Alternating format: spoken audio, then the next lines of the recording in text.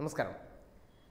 ഐഷ സുൽത്താന എന്ന് പറയുന്ന ഒരു ചലച്ചിത്ര പ്രവർത്തക അല്ലെങ്കിൽ ലക്ഷദ്വീപിന്റെ അവകാശങ്ങൾക്ക് വേണ്ടി പോരാടുന്ന ഒരു വനിതയുടെ വായിൽ നിന്ന് ഒരു വിഷയവുമായി ബന്ധപ്പെടുത്തി സംസാരിച്ച ഒരു വാചകത്തിൽ പിടിച്ച് അവർക്കെതിരെ രാജ്യദ്രോഹ കുറ്റം ചുമത്തി ചാനൽ ചർച്ചകളിൽ വന്നിരുന്ന് അത് സംബന്ധിച്ച് പുതിയ പുതിയ തത്വശാസ്ത്രങ്ങൾ നിരത്തിയ കുറേയേറെ ബി ജെ പി നേതാക്കന്മാരുണ്ട്. എവിടെ പോയിയല്ല ഇപ്പോൾ കോടതി മുൻകൂർ ജാമ്യം അനുവദിച്ചിരിക്കുകയാണ്. കോടതി ആ കേസ് പരിഗണിക്കുന്നതിന്റെ ഭാഗമായി തന്നെ ചില വാചകങ്ങൾ പറഞ്ഞിരുന്നു. ഇതൊന്നും രാജ്യദ്രോഹത്തിന്റെ പരിധിയിൽ വരുന്ന ആരോപണങ്ങളല്ല. ബയോ വെപ്പൺ അല്ലെങ്കിൽ ജൈവ ആയുധം എന്ന് പറയുന്ന ഒരു പരാമർശം ബി ജെ പിയുടെ ഒരു അഡ്മിനിസ്ട്രേറ്ററെ ഉദ്ദേശിച്ച് പറഞ്ഞൊരു വാചകം. അതായത് ലക്ഷദ്വീപ് ജനങ്ങൾക്കെതിരെ കേന്ദ്ര സർക്കാർ പ്രഫുൽ കോട പട്ടേൽ എന്ന ജൈവ ആയുധത്തെ പ്രയോഗിച്ചു എന്ന് അവർ ഒരു വ്യംഗ്യാർത്ഥത്തിൽ അതിനെ വിശദീകരിച്ച ഒരു ചാനൽ ചർച്ചയെ പിടിച്ചാണ് അയ്യോ ദാ രാജ്യദ്രോഹ കുറ്റം ചെയ്തൊരു വ്യക്തി എന്ന നിലയ്ക്ക്. അവർക്കെതിരെ ഹൈക്കോടതിയിൽ പോയ. ഇപ്പോൾ എന്തായി? ഇവർക്ക് ജാമ്യം കിട്ടില്ല ഇപ്പോൾ ജയിലിലടയ്ക്കും. രാജ്യദ്രോഹ കുറ്റത്തിന് പുതിയ നിർവചനമൊക്കെ നൽകിക്കൊണ്ട് നടന്ന ബി ജെ പി ചാനൽ ചർച്ചകളിലെ കുറേ ന്യായീകരണ തൊഴിലാളികൾ എങ്ങോട്ട് പോയി? കുറച്ചൊക്കെ ഉളുപ്പ് വേണ്ടേ മാഷെ നിങ്ങൾക്ക്? ഒരു വ്യക്തി എതിരഭിപ്രായം പറഞ്ഞാൽ ഉടൻ രാജ്യദ്രോഹ കുറ്റം രാജ്യദ്രോഹി. ഇപ്പോൾ കോടതികൾ ഈ അടുത്തിടെ തലക്കിട്ട് കൊട്ടിക്കൊടുക്കുകയാണ്. എന്തോന്നാണ് രാജ്യദ്രോഹ കുറ്റം എന്ന് ചോദിച്ചുകൊണ്ട്. അപ്പോൾ ഉത്തരയില്ല മിഴുങ്ങസിയ ഇങ്ങനെ നിൽക്കുകയാണ്.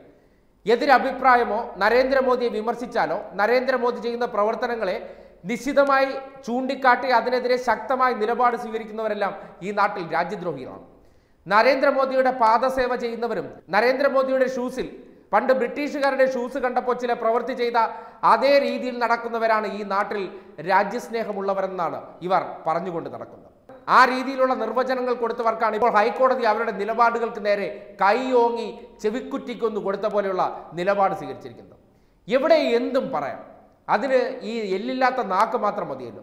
അൺകൺട്രോൾഡ് ആയിട്ടുള്ള കുറെ വാചകങ്ങൾ പറഞ്ഞ് ഒച്ചപ്പാടുണ്ടാക്കി ബഹളമുണ്ടാക്കി അവർ പറയുന്നതാണ് ശരി എന്ന് വരുത്തി തീർക്കാനുള്ള ശ്രമം. ഒരു കാര്യം മനസ്സിലാക്കുക. ഈ ഏറ്റവും കൂടുതൽ ഒച്ച ഉണ്ടാവുന്നത് എവിടെയെന്ന് ചോദിച്ചാൽ വളരെ സിമ്പിളായിട്ട് പഴഞ്ചൊല്ലായിട്ടൊരു കാര്യം പറയുന്നുണ്ട്. ഈ ഒഴിഞ്ഞ പാത്രത്തിൽ ഒച്ചയുണ്ടാകുമെന്നുള്ള കാര്യം. ബി ജെ പി നേതാക്കന്മാരുടെ ചാനൽ ചർച്ചകളിലെ ഒച്ചകൾ ആ നിലയ്ക്ക് മാത്രം കണ്ടാൽ മതി. ഒഴിഞ്ഞ പാത്രങ്ങളാണ്. ഒന്നിന്റെയും തലയ്ക്കകത്ത് ആൾ താമസമില്ല. എന്തെങ്കിലും എതിരഭിപ്രായം പറഞ്ഞാൽ ഇതാ രാജ്യദ്രോഹം രാജ്യദ്രോഹം പാകിസ്ഥാനിലേക്ക് പൊയ്ക്കോളൂ. ഇതൊക്കെ മാത്രമാണ് ഇവരിൽ നിന്ന് വരാനുള്ള വാചകം. കവരത്തി പോലീസ് രണ്ട് ദിവസം ചോദ്യം ചെയ്തപ്പോൾ ഇപ്പോൾ ബി ജെ പി നേതാക്കന്മാരും ഇവിടത്തെ കുറെ വക്താക്കന്മാരൊക്കെ സ്വപ്നം കണ്ടിരുന്നു. ഇപ്പോൾ ഐഷ സുൽത്താനയെ തൂക്കിയെടുത്ത് ജയിലിലടയ്ക്കും. ഞങ്ങൾ രാജ്യദ്രോഹത്തിന്റെ മൊത്ത കച്ചവടക്കാർ പറയുന്നതാണ് ഈ നാട്ടിലെ ശരിയെന്ന് ഇവർ സമർത്ഥിച്ചുകൊണ്ട് നടന്നു. ഒരു ചുക്കും സംഭവിച്ചില്ല. കോടതികൾക്കറിയാം. ഹിമാചൽ പ്രദേശിലെ ഒരു മാധ്യമ പ്രവർത്തകന് നേരെ ഇത്തരത്തിൽ പൗരത്വ നിയമ ഭേദഗതിയുമായി ബന്ധപ്പെട്ടെടുത്ത കേസ് സുപ്രീം കോടതിയും കൃത്യമായി താക്കീതോടുകൂടി പറഞ്ഞു. ഭരണകൂടത്തെ വിമർശിച്ചാൽ അത് രാജ്യദ്രോഹ കുറ്റമാകില്ല. ഭരണകൂടത്തിന് ഈ നാട്ടിൽ എന്ത് തോന്നിവാസവും കാണിക്കാം.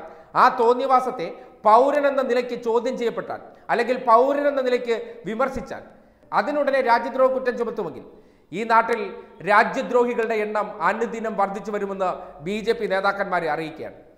നിങ്ങൾ ചെയ്യുന്ന കൊള്ളരുതായ്മകൾ. ഈ നാട്ടിൽ നൂറ് രൂപയ്ക്ക് പെട്രോൾ കൊടുത്തിട്ട് ഞങ്ങളിതാ അച്ഛാദിൻ കൊണ്ടുവരുന്നേ എന്ന് വാചകം അടിച്ചുകൊണ്ട് നടക്കുന്ന ഒരു തരത്തിലും ഈ നാടിന് ഗുണം ചെയ്യാത്ത ഒരു വിഭാഗം ബ്രിട്ടീഷുകാർ ഈ നാട്ടിലേക്ക് കടന്നു വരുമ്പോൾ അവരുടെ പാദസേവ ചെയ്ത ബി ജെ പിക്കാർ. അവർ ഈ നാടിലെ ആരെങ്കിലും ഭരണകൂടത്തെ വിമർശിച്ചാൽ ഉടനെ അവരെ രാജ്യദ്രോഹികളാക്കുമെങ്കിൽ ഒരു കാര്യം നിങ്ങൾ തിരിച്ചറിയുക. ഈ ബ്രിട്ടീഷുകാരെ ഇതേപോലെ തുറന്നെതിർത്ത ഒരു വലിയ തലമുറയുടെ പിന്മുറക്കാരാണ് ഇപ്പോഴും എതിർത്ത് സംസാരിക്കുന്നത്. അന്ന് നിങ്ങളുടെ പിൻതലമുറക്കാർ ചെയ്ത പ്രവർത്തനം എന്താണെന്നൊന്ന് ചിന്തിച്ചു നോക്കണം. അല്ലെങ്കിൽ ആലോചിച്ചു നോക്കണം. ആ പ്രവൃത്തിയാണ് നിങ്ങൾക്ക് മഹത്തരമെങ്കിൽ അതിന് ഈ നാട്ടിലെ പൊതുജനത്തെ കിട്ടുമെന്ന് കരുതരുത്. ഇത്തരത്തിൽ കോടതികളും സംവിധാനങ്ങളും ഈ നാട്ടിലുള്ളത് ഇവിടുത്തെ ജനാധിപത്യ സംവിധാനത്തെ സംരക്ഷിക്കാൻ വേണ്ടിയാണ്. അതുകൊണ്ടാണ് ഐഷ സുൽത്താനയ്ക്ക് പിന്നിൽ ആളുകൾ കൂടുന്നതും അവരെ പിന്തുണയ്ക്കാൻ നിരവധി ശബ്ദങ്ങൾ ഉയർന്നു വരുന്നതും. ഇപ്പോൾ ഹൈക്കോടതിയിൽ ഒരു ചുക്ക് സംഭവിച്ചില്ല. അവർ പുറത്തു പോകുന്നുണ്ട്. അല്ലെങ്കിൽ ഈ കേസ് കോഷ് ചെയ്യുമെന്നുള്ള കാര്യത്തിൽ ഒരു തർക്കവും വേണ്ട. നിങ്ങൾക്കെതിരെ വിമർശിച്ചാൽ നിങ്ങളെല്ലാം ഒരുപക്ഷെ ഈ നാട്ടിലെ ബയോ വെപ്പണാണെന്ന് പറയേണ്ടി വരികയാണ്. ഈ നാട്ടിലെ ജനങ്ങളുടെ സമാധാന ജീവിതം ഇല്ലാതാക്കാൻ വന്ന ബയോ വെപ്പണുകൾ ഈ നരേന്ദ്രമോദി അധികാരത്തിലേറിയതിനു ശേഷം ഈ നാടിന് എന്ത് മാറ്റമാണ് ഉണ്ടായിട്ടുള്ളത്? എല്ലാ കാലത്തും ഈ നാട്ടിൽ കലാപവും അടിയും പിടിയും ബേളവും അല്ലാതെ മറ്റ് എന്ത് നേട്ടം നിങ്ങൾക്ക് ഈ നാട്ടിൽ കൊണ്ടുവരാൻ കഴിഞ്ഞു? ഒരു ചുക്കും സംഭവിച്ചിട്ടില്ല. അപ്പോൾ നിങ്ങളൊക്കെ ഈ നാടിനൊരു ബയോ വെപ്പൺ തന്നെയാണ്. അതിൽ ഒരു സംശയവുമില്ല തന്നെ. ഐഷ സുൽത്താനെ പോലെ ഒരു സ്ത്രീയുടെ മുന്നിൽ മുട്ടിടിച്ച് നിന്ന് നാണമില്ലാതെ ഇപ്പോൾ നിങ്ങൾ തലയിൽ മുണ്ടിട്ട് നടക്കേണ്ടി വരികയാണ്. ഇപ്പോൾ പോലീസ് ചോദ്യം ചെയ്ത് അവരെ അടുത്ത് ജയിലിൽ അടച്ചേക്കും. കുറെ കാലം അവിടെ കിടക്കുമെന്ന് നിങ്ങൾ സ്വപ്നം കണ്ടു. നിങ്ങൾക്ക് എവിടെയെങ്കിലുമൊക്കെ ചെറിയ തോതിൽ ഒരു സ്വാധീനമുണ്ടെന്ന് കരുതി. അവിടെ കയറി മേയാൻ ചെന്നാൽ ജനങ്ങളൊന്നും വിടില്ല അല്ലെങ്കിൽ ഇവിടുത്തെ നിയമ സംവിധാനം വിടില്ല എന്നുള്ള കാര്യം നിങ്ങൾക്ക് മനസ്സിലായില്ലേ? നിങ്ങളുടെ രാജ്യസ്നേഹമാണ് ഈ നാട്ടിലെ യഥാർത്ഥ രാജ്യസ്നേഹമെന്ന് നിങ്ങൾ ഇങ്ങനെ വീമ്പ് പറഞ്ഞ് നടന്നു നിങ്ങൾ ഇങ്ങനെ വീമ്പ് പറഞ്ഞ് നടക്കുന്നുണ്ട്. നിങ്ങളുടെ രാജ്യസ്നേഹത്തെക്കുറിച്ച് ഈ നാട്ടിലെ എല്ലാവർക്കും കൃത്യമായി ബോധ്യമുള്ളതാണ്. കുഴൽപ്പണം കടത്തുക കള്ളപ്പണം കൊണ്ട് നടക്കുക ഇത്തരത്തിൽ സ്ഥാനാർത്ഥികളെ കോഴ കൊടുത്ത് വാങ്ങിക്കുക ജനാധിപത്യ രീതിയിൽ തിരഞ്ഞെടുക്കപ്പെടുന്നവരെ പർച്ചേസ് ചെയ്ത് അധികാരം പിടിക്കുക ഇതൊക്കെയാണല്ലോ നിങ്ങളുടെ രാജ്യസ്നേഹം എന്ന് പറയുന്നത്. പോരാത്തതിന് ഈ നാട്ടിലൊരു തിരഞ്ഞെടുപ്പ് വരുമ്പോൾ അല്ലെങ്കിൽ വലിയ തരത്തിൽ ബി ജെ പിക്ക് എന്തെങ്കിലും എതിരായിട്ടുള്ള മാസ് അറ്റാക്ക് ഉണ്ടാകുന്ന സന്ദർഭങ്ങളിൽ ഈ നാട്ടിൽ അതിർത്തികളിൽ പ്രശ്നമുണ്ടാക്കുക ഇതൊക്കെയാണല്ലോ നിങ്ങളുടെ രാജ്യസ്നേഹം എന്ന് പറയുന്നത്.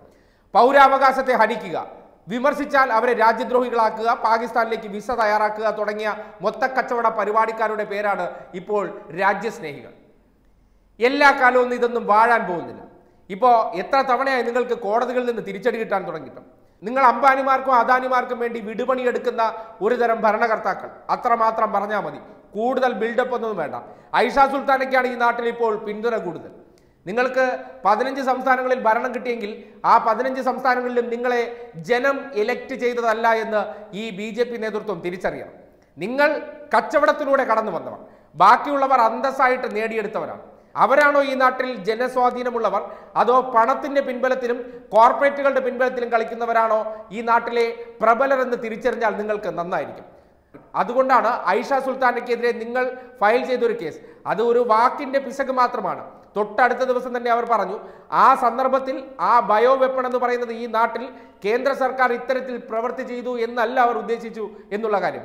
അത് പ്രഫുൽ കോട പട്ടേൽ എന്ന വ്യക്തിയെ അവർ സാന്ദർഭോചിതമായി ആ വാക്കുകൊണ്ട് അദ്ദേഹത്തെ പ്രതിനിധീകരിക്കാൻ മാത്രമാണ് അവർ ഉദ്ദേശിച്ചു എന്ന് അവർ പറഞ്ഞു വയ്ക്കുമ്പോൾ അത് മനസ്സിലാക്കണമെങ്കിൽ തലയ്ക്കകത്ത് കുറച്ച് ആൾ താമസം വേണം.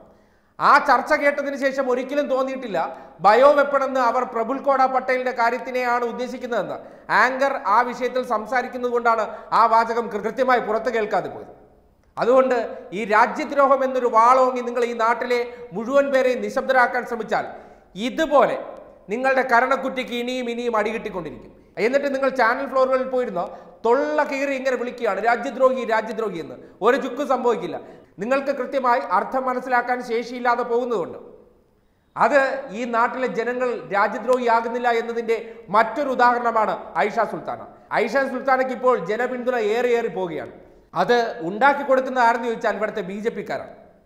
അതുകൊണ്ട് ഈ നാട്ടിലെ എതിർ ശബ്ദങ്ങൾക്ക് കൂടുതൽ ജനപിന്തുണ ഉണ്ടാക്കി കൊടുക്കുന്ന ബി ജെ പിയുടെ നിലപാട് വളരെയധികം ഗുണകരമാണ് എന്നുള്ളത് കൊണ്ട് നിങ്ങളുടെ ഈ രാജ്യദ്രോഹ വകുപ്പ് ഈ നാട്ടിലെ ഒരുപാട് പേർക്ക് ജനകീയമായ അടിത്തറ ഉണ്ടാക്കുന്നു എന്നുള്ളത് കുറച്ചെങ്കിലും ഉപകാരപ്രദമായതിനാൽ ഇത്തരം കൊട്ടുകൾ ബി ജെ പിക്ക് എല്ലാ കാലത്തും നല്ലത് തന്നെയാണെന്നാണ് പറഞ്ഞു വയ്ക്കാനുള്ളത്.